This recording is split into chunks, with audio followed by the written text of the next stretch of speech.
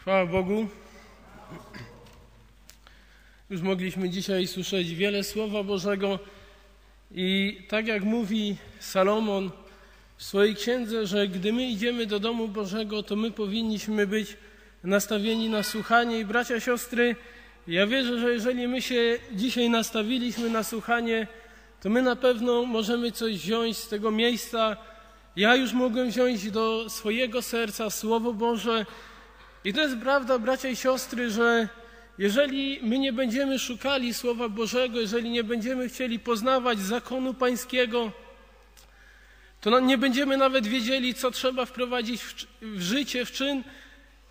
I wiecie, kiedy tak nieraz się zastanawiam nad swoją modlitwą, nieraz mówię, Boże, ja proszę Ciebie, daj mi zrozumieć Słowo Twoje.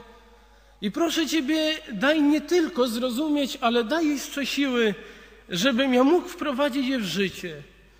Bracia siostry, bo tak ważne jest to, żebyśmy nie tylko usłyszeli, ale żebyśmy wprowadzili w czyn.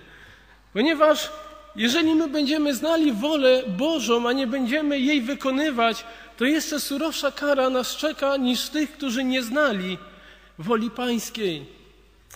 Ja bym chciał odczytać fragment wszystkim nam, myślę, dobrze znany z objawienia Jana, pierwszy rozdział i szósty werset. Objawienie Jana, pierwszy rozdział i szósty werset. I uczynił nas rodem królewskim, kapłanami Boga i Ojca swojego. Niech będzie chwała i moc na wieki wieków. Amen. Bracia siostry, Słowo Boże mówi i uczynił nas rodem królewskim, kapłanami Boga i Ojca swojego.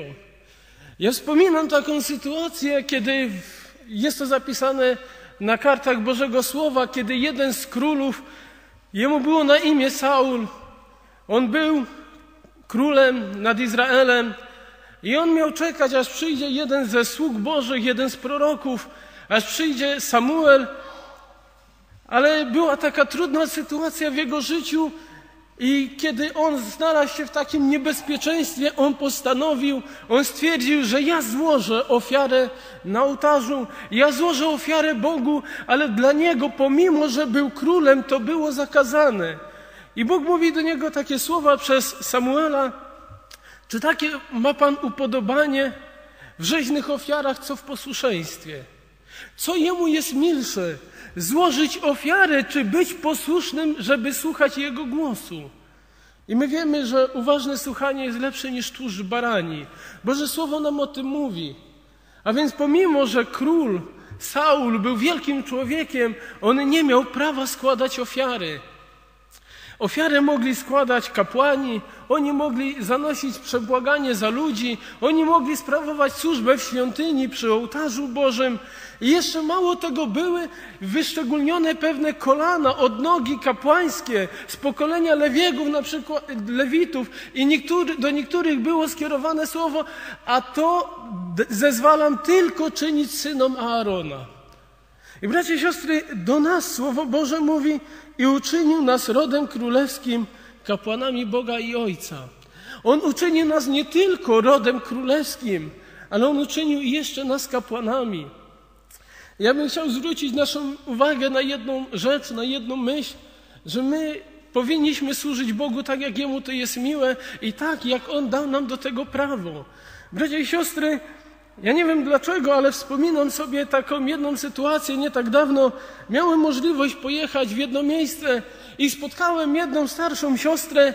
I kiedy ja z nią zacząłem rozmawiać, wiecie, ona od razu zaczęła mi opowiadać o tym, jak to było kiedyś, o tym, jak ona miłowała swojego męża, jak ona przeżywała obecność Bożą, jaki jej mąż, co przeżywał. I ona zaczęła mi różne świadectwa ze swojego życia opowiadać. I wiecie, moje serce się rozradowało. Kiedy ja wróciłem do domu, ja zastanowiłem się, mówię, Panie Boże, ja nie przyjechałem do tej siostry nawet w gości. Ja po prostu tak przyjechałem tam i gdzieś tak na dworze żeśmy przechodzili obok siebie, a ona zaczęła opowiadać o dziełach Twoich.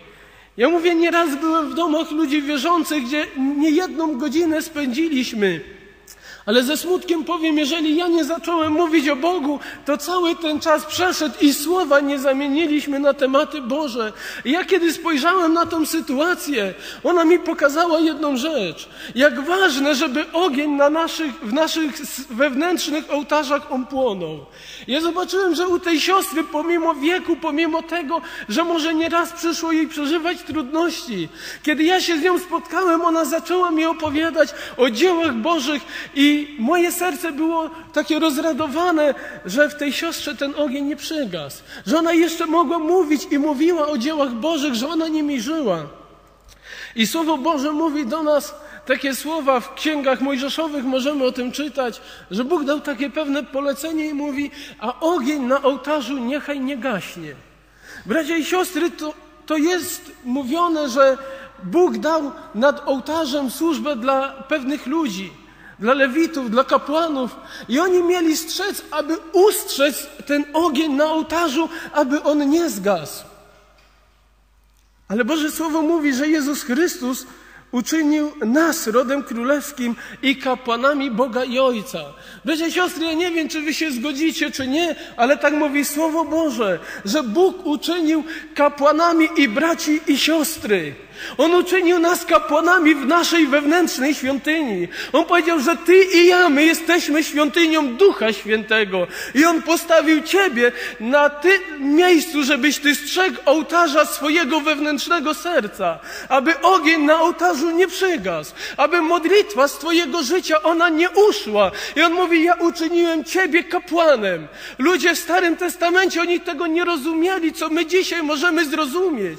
Oni widzieli tylko pewne pewne rzeczy, pewien obraz. Oni mieli jedną świątynię, a Bóg mówi, a ja z każdego z was uczyniłem świątynią mojego ducha i ja was uczyniłem królewskim rodem. Ja was uczyniłem kapłanami, abyście strzegli mojego ołtarza. Ja was postawiłem, żebyście strzegli, żeby ogień w waszych sercach nie przygasł. Aby modlitwa, ona nie zagasła. Ja wiecie, wspominam, wczoraj miałem taki dobry czas, pojechaliśmy do jednej rodziny, i kiedy tak dłużej przebywaliśmy tam, my mówimy, słuchajcie, bardzo dobrze nam tu być, porozmawialiśmy o dziełach Bożych, ale my już musimy wracać do domu. Godzina już późna.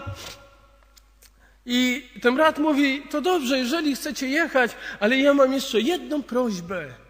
Ja chciałbym, abyśmy skłonili kolana i zanim wyjdziecie z mojego domu, żebyśmy się pomodlili. On mówi, i nie przejmujcie się czasem, my i tak byśmy się modlili do snu. Potraktujcie, że to jest i ta modlitwa i my się będziemy modlić, ile Pan da. I wiecie, kiedy zaczęliśmy się modlić, już było późno, oni mieszkają w domku, to o tyle lżej, że nie ma sąsiadów, nie trzeba przejmować się, że może komuś będzie się naruszać porządek. I wiecie, kiedy my żeśmy się zaczęli modlić, kiedy obecność Boża zeszła, to ja myślę, że tak właśnie mogli się czuć apostołowie na górze przemienienia, kiedy oglądali Jezusa w chwale i mówią, Panie, dobrze nam tu być. I wiecie, kiedy zeszła obecność Boża, kiedy my żeśmy się zaczęli modlić, nas napełnił Duch Święty, my zaczęliśmy się modlić na obcych językach i ta modlitwa płynęła i płynęła. Ja tak mówię, Panie, jak ja bym chciał, żeby zawsze moje modlitwy, one tak wyglądały. Ale bracia i siostry, jak trzeba strzec życia swojego, aby wróg nie podszedł i czegoś nam nie wykradł. Ja bym chciał, abyśmy zwrócili swoją uwagę na życie pewnego człowieka, na Elizeusza, kiedy on czynił to, co prawe w oczach Bożych, to Bóg jemu dał słyszeć głos swój. Inni, chociaż z narodu Bożego, oni tego głosu nie słyszeli. Ale temu mężowi Bóg dał słyszeć głos swój. I był taki czas, że kiedy Izrael wojował z królem Aramu, to nieraz król Aramu on posyłał swoje wojska i tam czynił jakieś niebezpieczne miejsce i mówi: Z tego miejsca my zaatakujemy, zrobimy pułapkę. Ale ilekroć król Aramu rozmawiał o tym ze swoimi tam dowódcami, z ludźmi ze swojej świty, to Bóg objawiał te słowo prorokowi i prorok szedł do króla i mówi, ty wystrzegaj się tego i tego miejsca, bo tam wróg będzie czyhał. I pewnego razu król on, aramejski, on tak spojrzał, mówi, co to takiego? Kto donosi dla króla izraelskiego? A oni mówią, to nikt z naszych, ale jest jeden prorok w Izraelu i to, co ty mówisz, Bóg jemu objawia i on idzie dalej, zanosi tą wieść królowi i dlatego oni znają nasze plany. I w tym momencie król, on zrozumiał, ten nieczysty król, on zrozumiał, on nie tą osobę atakuje. On myślał, że jak on zniszczy głowę państwa, to przejdzie zwycięstwo. Ale on zrozumiał, jest człowiek, który ma kontakt z niebem i on jest większym niebezpieczeństwem. I król ten nieczysty, on całe swoje wojska kieruje już nie na króla izraelskiego, a na proroka Bożego, na tego, który słyszy głos Boży i mówi, tego trzeba zniszczyć. Bracia, siostry, jeżeli my dobrze będziemy chodzić przed obliczem Bożym, jeżeli my będziemy chodzić tak, że Bóg będzie do nas przemawiał i my będziemy błogosławieństwem dla innych, obowiązkowo przyjdą przeszkody do życia naszego. Wróg będzie mocniej takich ludzi atakował, bo oni są niebezpieczni dla niego. Mi wspomina się świadectwo, pewien Żyd w Warszawie dostał od swojego ojca w spadku sklep. Ale ojcu szedł sklep bardzo dobrze, obroty były, wszystko było, no tak jak się wydawało na swoim miejscu, ale kiedy syn otrzymał w spadku, to jakby coś się zmieniło. Nagle nie ma obrotów, nie ma pieniędzy, bieda przychodzi, mówi, no chyba będę musiał zamknąć sklep, ale kogo się poradzić? Najlepiej rabina, to mądry człowiek. I poszedł do rabina i mówi, rabi, słuchaj, poradź, mam sklep i interes w ogóle nie idzie. Jak ty byś mi poradził, co zrobić? A on mówi, słuchaj, a w jaki ty sposób nabyłeś ten sklep? Może w jakiś taki zły sposób. A on mówi, od ojca dostałem w spadku. On mówi, no to nie ma problemu, to tak jak należy się. A powiedz mi, jak ojcu szedł interes. O, ojcu, bardzo dobrze. Klient za klientem, obrót był, pieniądze były, a u mnie nie ma. On mówi, a słuchaj, powiedz mi, co ojciec robił w wolnym czasie. A on mówi, no, ojciec w wolnym czasie to czytał Torę i się modlił. A on mówi, a ty co robisz w wolnym czasie? On mówi, no, czytam gazety, oglądam telewizję. On mówi, o i tu jest powód. Ja powiem, my jako ludzie wierzący byśmy zauważyli powód. No brak Bożego błogosławieństwa człowieku u ciebie w życiu. Ale ten Żyd, taki mądry człowiek, rabin, on ten problem ugryzł od drugiej strony, niż ja w ogóle bym mógł pomyśleć. On mówi, i tu jest powód. Bo twój ojciec był zagrożeniem dla diabła, to on posyłał, posyłał, posyłał mu klientów, żeby czasu nie miał, czytać Torę i się modlić, a ty jemu nie jesteś zagrożeniem, to i tobie nie przeszkadza. Bracia i siostry, tak jest w życiu nas wierzących. Jezus powiedział, mnie prześladowali i was prześladować będą. Bracie siostro, jeżeli ciebie i mnie nie prześladują, znaczy, że my nie jesteśmy na właściwej drodze. Jeżeli ciebie prześladowali, jakżeś się nawrócił, a dzisiaj zaprzestali, znaczy, że coś ty w swoim życiu straciłeś.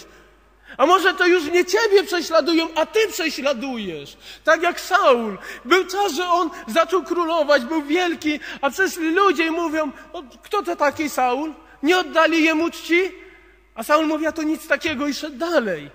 Ale kiedy już pycha podeszła, wtedy przyszedł problem. No jak ktoś taki jak Dawid, no mi dali tylko sto, a jemu, e, mi dali tysiąc, a Dawidowi dziesięć tysięcy.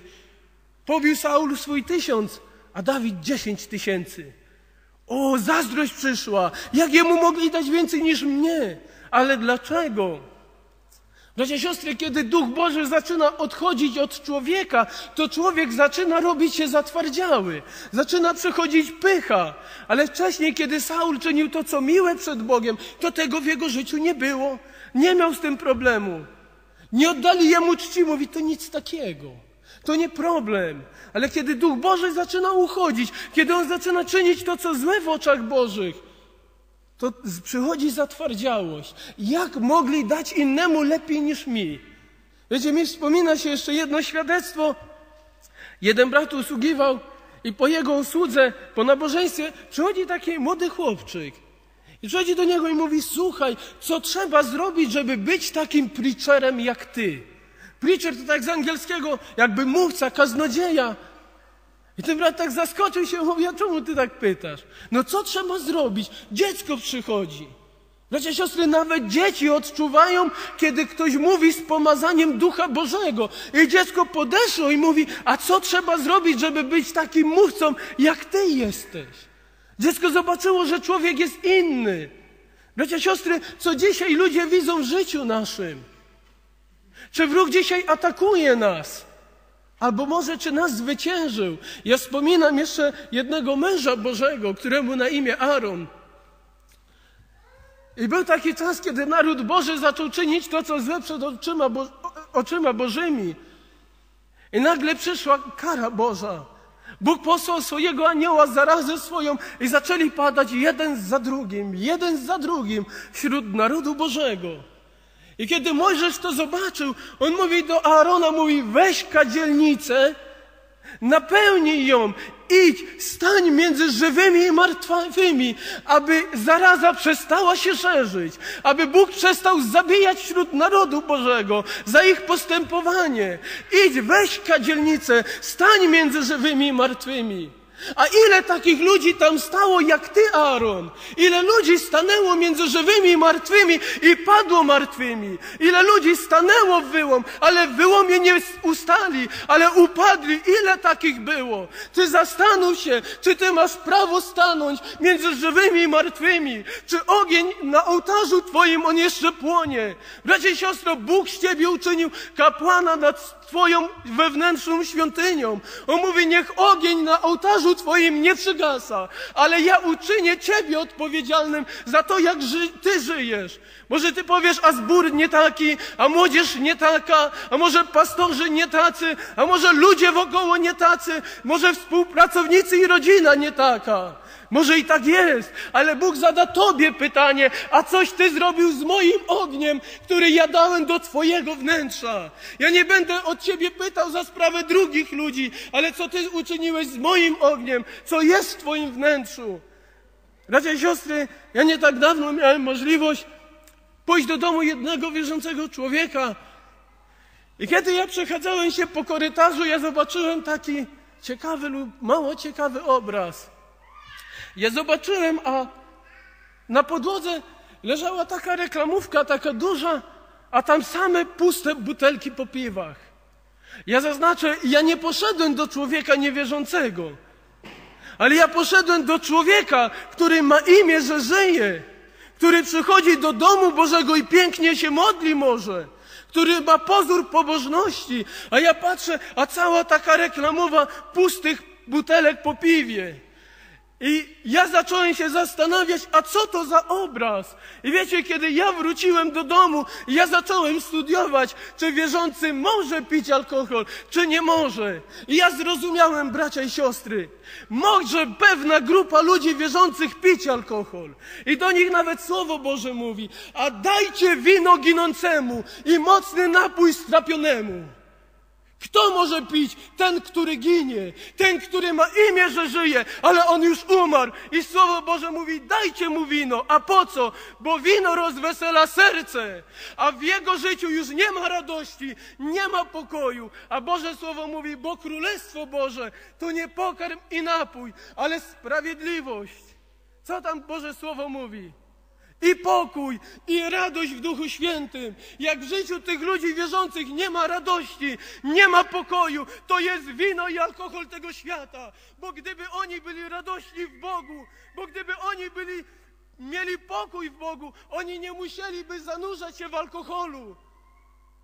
Ale to są ludzie, którzy pozwolili, żeby wróg przyszedł do życia i coś ukradł aby ogień z ołtarza ukradł. A to tacy kapłani, którzy nie strzegli kapłana Bożego, ołtarza Bożego. Bracie i siostro, jak ty dzisiaj wyglądasz przed obliczem Bożym? Może ktoś do mnie przyjdzie i powie, ty nie miałeś prawa tak mówić. Bracia i siostry, tak Słowo Boże mówi. Bóg mówi, ja was uczyniłem królewskim rodem, kapłanami Boga żywego. Bracia i siostry, mi się wspomina jeszcze jedna taka taka sytuacja z mojego własnego życia. Kiedy ja się nawróciłem, ja bardzo starałem się tak wypełniać Boży zakon, Boże prawo. I wiecie, to jest dobrze, kiedy my widzimy swoje błędy. I ja nieraz zobaczyłem, że ja postąpiłem nie tak, jak powinienem. I mi przychodzi kiedyś taka myśl, tak zacząłem rozważać, dlaczego w życiu człowieka pojawiają się te rzeczy. I na Ukrainie tam ciekawie, jak chcą kogoś tak z wielkim szacunkiem przywitać, to oni mówią po ojcu. Jeżeli mój ojciec nazywałby się Roman, to by powiedzieli Romanowicz. Daniel Romanowicz, to tak z szacunkiem. I naszym Bogiem, naszym Panem jest Bóg, naszym Ojcem jest Bóg. Ale wiecie, my jeszcze mamy drugiego ziemskiego Ojca, a jego imię Adam. Jeden brat ciekawie kiedyś powiedział, mówi, bo jak ten Adamowicz się odezwie, ja myślę, że my rozumiemy, co to znaczy. Ta stara ludzka natura, ojciec nasz Adam, ten cielesny człowiek, to nieraz człowiekowi bywa źle w życiu. I człowiek zrobi to, czego później żałuje. I my powinniśmy żyć według ducha, a nie pobłażać w rządzy cielesnej. Ale nieraz jest tak, że kiedy my dajemy więcej czasu dla ciała, to ten Adamowicz, on wzrasta i on zaczyna się odzywać. Ale bracia siostry, jeżeli my jesteśmy kapłanami Boga żywego, to my powinniśmy strzec tego, aby Duch Boży, On zawsze płonął w sercach naszych. My powinniśmy pilnować tego, aby nie upijać się winem, ale być pełni Ducha. Jeżeli my będziemy pełni Ducha, to my nie będziemy pobłażali rządzy cielesnej. Jeszcze taką jedną ciekawą myśl powiem. Podczas II wojny światowej, w sumie już pierwszej, wszystkie narody one zrozumiały jedno – kto będzie miał zwycięstwo w powietrzu, tego wojna jest wygrana. Nawet podczas zimnej wojny, która była między Związkiem Radzieckim a Ameryką, to te oba narody, one ścigały się, kto będzie miał lepsze wyposażenie. I naród amerykański, on dał grube miliony, a nawet miliardy na to, żeby zrobić taki samolot, który byłby niewykrywalny przez radary. I kiedy oni to wykonali, to już praktycznie wojna się skończyła. Ale to jest bardzo niebezpieczna broń. I bracia i siostry, ja chcę powiedzieć, że podobna sytuacja jest dzisiaj w życiu naszym. Diabeł, on stara się przeniknąć do myśli naszych. Jak jeden brat powiedział, szatan atakuje z powietrza, przez myśli. I wiecie, bracia i siostry, to jest prawda. I szatan atakuje do naszych myśli, aby później przenieść to w czyn. Ale dla niego wyjątkowo cenne jest, żeby przyszła taka myśl, którą my byśmy nie wychwycili, że to od niego. Żeby on stara się poddać swoje myśli, ale żebyśmy myśleli, że to Boże. Żebyśmy nie wykryli, żeby nasz wewnętrzny ten radar, żeby Duch Boży, żeby nasze sumienie nam nie podpowiedziało, że to od złego. I wróg, on ma taką jedną taktykę powiedzieć, że to, co mówi Boże Słowo, to nie jest prawda. Jednego razu rozmawiałem z jednym bratem. Ja mówię, słuchaj, a ty myślisz, że ta dziewczyna niewierząca, ona się nawróci? A on mówi, no ja myślę, że ona się nawróci. Ja tak popatrzyłem, zasmuciłem się.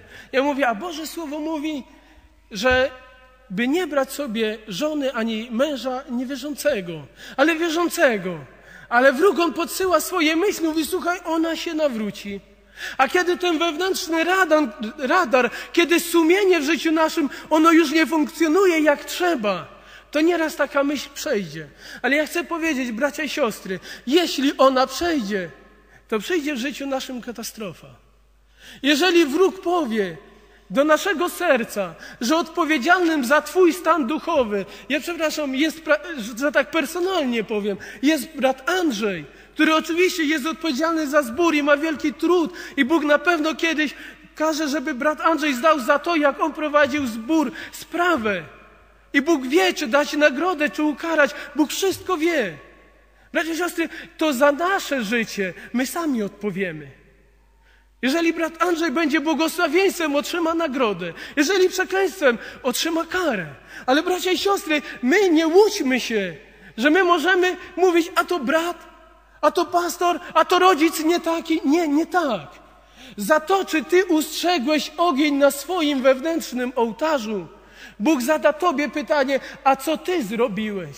My nie będziemy mogli powiedzieć, a to mój tato, on tak nierozważnie mi mówił. Tak, on nierozważnie mówi, mówił do ciebie. Ja z nim będę później rozmawiał. Ale co ty zrobiłeś ze słowem moim, kiedy ja mówiłem, że ty masz słuchać mojego słowa, badać zakon pański, a później wprowadzać w czyn. Co ty zrobisz z tym słowem, które ja mówię do ciebie? No co ty zrobiłeś? Bracia, siostry, my zdamy odpowiedź przed Bogiem, co my uczyniliśmy. My nie będziemy mogli powiedzieć, Panie, ten świat, w którym żyliśmy, on był zepsuty. On zawsze był zepsuty. Za czasów Jezusa on też był zepsuty. Ja nieraz tak nawet patrzę, mówię, no jaka dziwna rzecz. No w jeden dzień mówią, o, Hosanna królowi Dawidowemu. No chcą go obwołać w królem. Krótki czas później patrzymy, ci sami ludzie krzyżują tego, na którym mówili, ty bądź królem nad nami. Bracia, siostry, a czy my nieraz nie jesteśmy w tym gronie? Kiedy był czas i mówimy, mówiliśmy, Ty panuj nad nami. My będziemy służyli Tobie w czystym sumieniu. My będziemy strzegli tego, co Ty dałeś do nas, do naszego serca. My nie będziemy zasmucali Ducha Bożego pustą mową, różnymi złymi rzeczami. A co później my zrobiliśmy, bracia, siostry? Za to wszystko przyjdzie czas, że zdamy odpowiedź przed Bogiem. I bracia, siostry, jeżeli dzisiaj nie ma w sercu naszym radości i pokoju, jeżeli może nas prześladują i nam jest przez to źle, to ja chcę powiedzieć, bracia i siostry, jest taka pieśń, im, bliż, im większy ból, tym bliżej Bóg.